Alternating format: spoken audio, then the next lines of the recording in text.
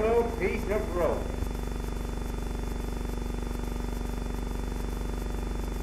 The quick solution of the Titterton murder case is the result of the active cooperation between the police department and the district attorney of New York County.